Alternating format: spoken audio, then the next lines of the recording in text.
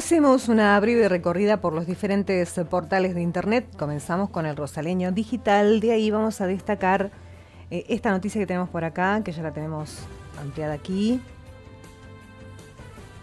A partir del 30 de este mes, las instituciones que integran la Mesa Local de Prevención de Violencia y la UNS van a brindar seminarios que tratarán sobre varios temas relacionados a este tipo de episodios.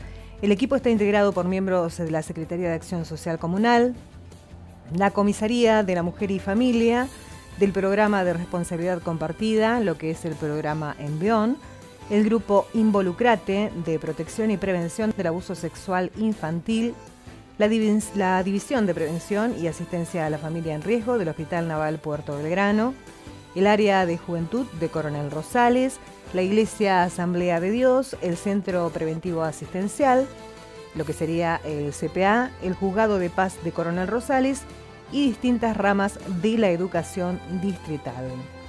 Allí los participantes de este trabajo van a realizar un trabajo basado en las distintas experiencias, aportando ideas y concretando acciones desde las mismas, planificando de esta manera actividades para socializarlas en la comunidad, por medio de encuentros brindando charlas informativas con profesionales.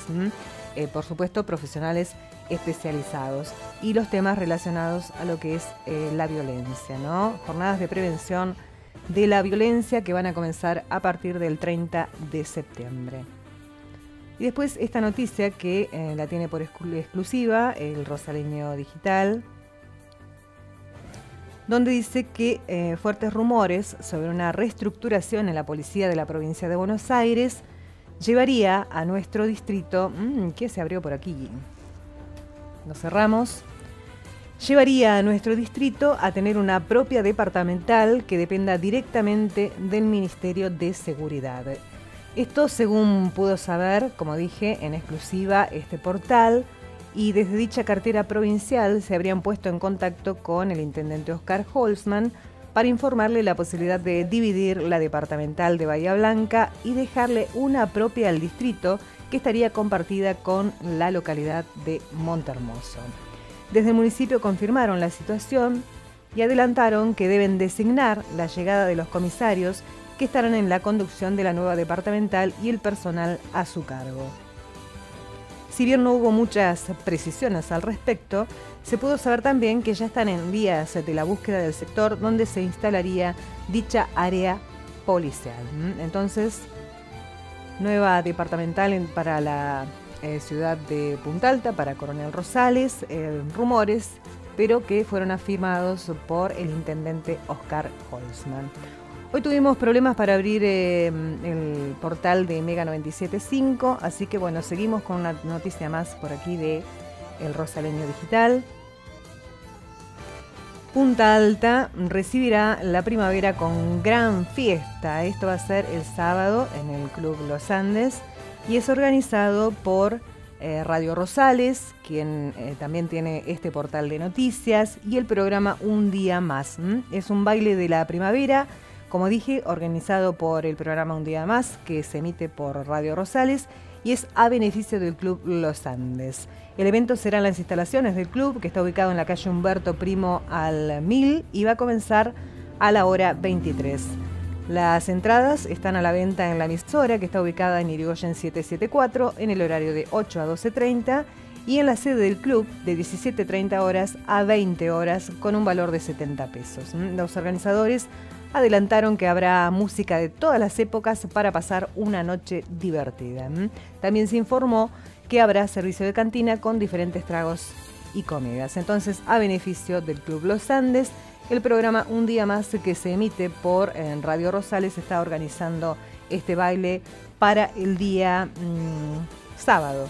Vuelvo a reiterar, baile de primavera eh, a, cargo del programa Un Día Más y a beneficio del Club Los Andes. Nos vamos a la brújula. Se me desapareció la página de la brújula. Bueno, por acá tenemos la página de la brújula con diferentes títulos. Vamos a desarrollar este que tenemos por acá. Habrá cupo para transexuales entre estatales de la provincia. La Cámara de Senadores bonaerenses sancionó el día de ayer la ley que crea en el sector público de la provincia un cupo mínimo de al menos un 1% de los empleos para personas que integren el colectivo trans, travesti y transgénero. La flamante norma fue elaborada por la diputada provincial del Frente para la Victoria, Karina Nazábal, aprobada en la Cámara Baja a fines del año pasado y sancionada ayer en el Senado. Ahora deberá ser reglamentada por el Poder Ejecutivo para entrar en vigencia. ¿Mm? Habrá cupo para transexuales entre estatales de la provincia. Nos vamos a otro titular que tenemos por acá. Esto fue en la ciudad de La Plata. Alumnos que simularon un golpe de Estado contra nuestra presidenta Cristina Kirchner. El centro de un colegio de La Plata generó desconcierto y preocupación en la comunidad educativa del establecimiento al simular un golpe de Estado a través de una transmisión interna por alto parlante con el objetivo de recordar un nuevo aniversario de la Noche de los Lápices. De la puesta en escena también habrían participado algunas autoridades de la escuela, lo que generó el inicio de una investigación por parte de la Dirección General de Escuelas.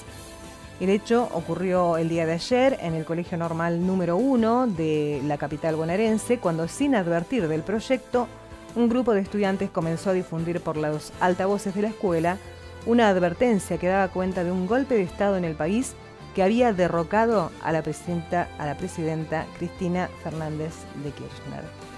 Incluso se escuchó una voz que simulaba la de la mandataria pidiendo ayuda a la población para evitar su derrocamiento.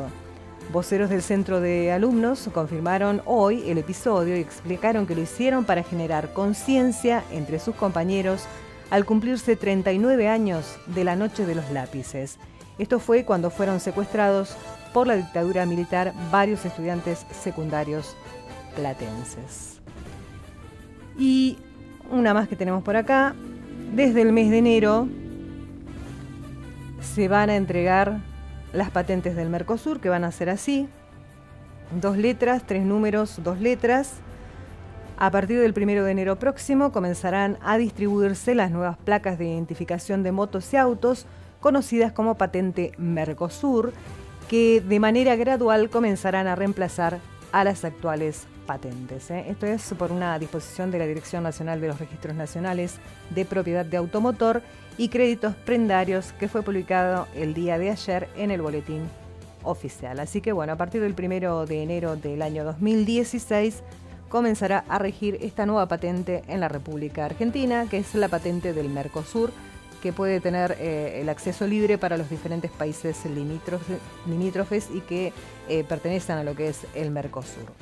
De esta manera desarrollamos los títulos y los portales el día de hoy. Agradecemos a labrújula.com y a El Rosaleño Digital.